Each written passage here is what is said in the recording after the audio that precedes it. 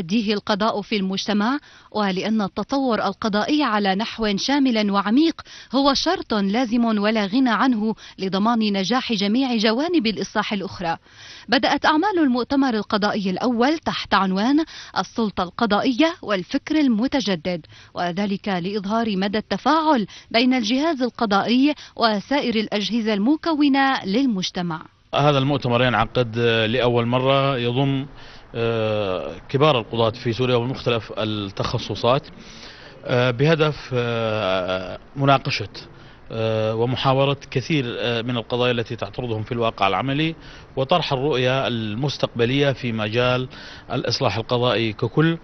وكذلك ما لديهم رؤى وتصورات ومقترحات بمنتهى الوضوح بمنتهى الشفافية بقصد تجسيد سياسة الإصلاح القضائي واقعا ملموسا من خلال عرض ما تمخض عنه إلى الآن تجربة أتمنة العمل القضائي والإداري التي ستطبق خلال الأيام بعد أن انتهت التجارب بنجاح كبير. أهميتها تكمن أولا في تبادل كما قال سيد وزير العدل تبادل الخبرات على أعلى مستوى الخبرات العملية وليس فقط الخبرات النظرية. ثانيا فرصة مهمة جدا للجميع للتلاقي من حيث المبدأ. هناك أسرة قضائية بمعنى الأسرة الحقيقية التي يجب أن تجتمع بين حين وآخر. والنقطة الثالثة هو تقديم تصورات للمستقبل. هذه التصورات لا يمكن أن تكون أبدا تصورات فردية. هذا عمل جماعي. نوقشت محاور عدة خلال المؤتمر كانت أهمها أتمتة العمل القضائي والإداري والإصلاح القضائي وصياغة القرارات والأحكام القضائية والعلاقة بين المحاماة والسلطة القضائية.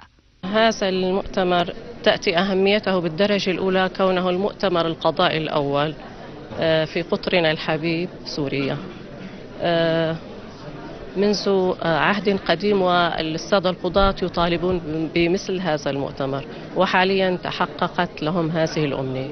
من خلاله يطرحون كل همومهم ويناقشون كل ما يصبون إليه في عملهم القضائي. تأكيد على أن الدولة مهتمة جدا بمسألة الإصلاح القضائي من أجل بناء قضاء متجدد قضاء جديد.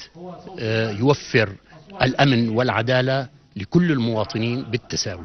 في واحد عشرة ضمن هذا الشهر بواحد عشرة تم إطلاق التبليغ الإلكتروني عبر الموبايلات للسادة المتقاضين. وبدأت الدواوين بالعمل في هذا الاتجاه. هي خطوة نحو الأتمتة المطلقة التي نطمح إليها لنتجاوز كافة الدول في قضائنا المتميز من النواحي القانونية ولكن الأدوات نسعى لتطويرها.